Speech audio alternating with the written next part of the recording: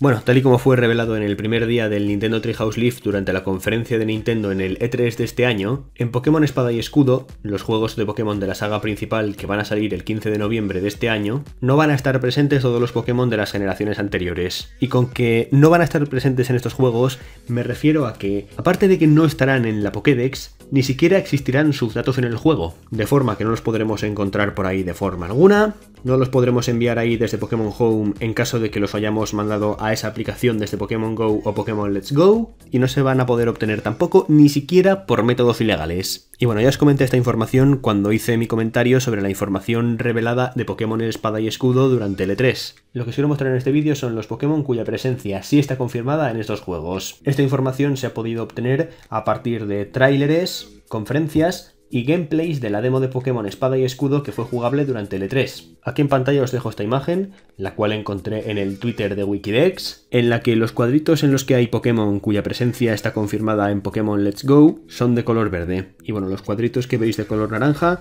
esos son los Pokémon cuya presencia fue confirmada en el tráiler que se subió al canal oficial de Pokémon en japonés el 12 de julio. Los Pokémon que están dentro de cuadritos que no son de esos colores todavía están por confirmar. Podría ser que al final van a estar en el juego y también podría ser que no. No se sabe por el momento.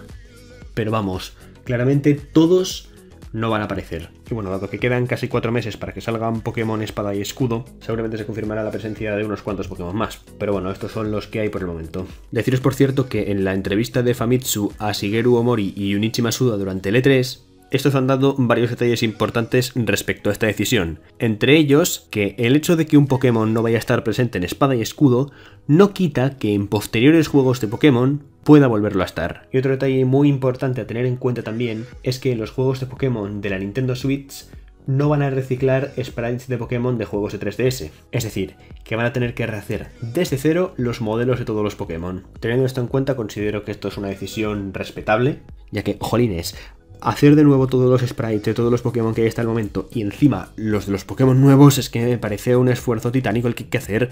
Además de eso, en cada generación, pues irán sacando Pokémon nuevos y si no van deshaciéndose de Pokémon anteriores, pues es que va a llegar al punto en el que van a tener que diseñar los sprites de posiblemente 2000 o 3000 Pokémon y eso ya me parece desmesurado. Por lo que me parece lógico que haya llegado el punto en el que prefieran reducir el número de Pokémon que va a haber en el juego no incluyendo algunos Pokémon viejos.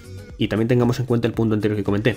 Puede ser que en Pokémon Espada y Escudo no vayan a incluir a Pokémon que mucha gente hubiera querido ver en esos juegos. Pero eso no quita que en posteriores juegos de Pokémon en los cuales seguramente también decidan excluir algunos Pokémon antiguos, sí vayan a incluir a esos Pokémon. Por lo que considero que, en base a lo visto hasta el momento acerca de ellas, vale la pena darles la oportunidad a estas ediciones. Y bueno gente, esto es lo que os quería comentar en este vídeo. Los Pokémon de anteriores generaciones cuya presencia está confirmada en Pokémon Espada y Escudo hasta el momento, y dar de nuevo mi opinión, esta vez un poquito más detallada, acerca del tema de que no vayan a incluir a todos los Pokémon de generaciones anteriores en estos juegos. Según vaya saliendo más información acerca de Pokémon Espada y Escudo, yo la comentaré cuanto antes sea posible, y en caso de que confirmen que un grupo muy grande de Pokémon de anteriores generaciones también va a estar presente en Pokémon Espada y Escudo, pues ya lo comentaré en un vídeo, pero obviamente no voy a hacer un vídeo con cada Pokémon de anteriores generaciones cuya presencia confirmen en Pokémon Espada y Escudo, porque es que si no, a lo mejor acabo haciendo 20 vídeos al respecto y no es plan. Así que esperaré a que haya una cantidad abundante de Pokémon antiguos confirmados en estos juegos y entonces ya será cuando haga el vídeo. Y bueno gente, pues nada más que comentaros por este vídeo, espero que os haya gustado y hasta la próxima.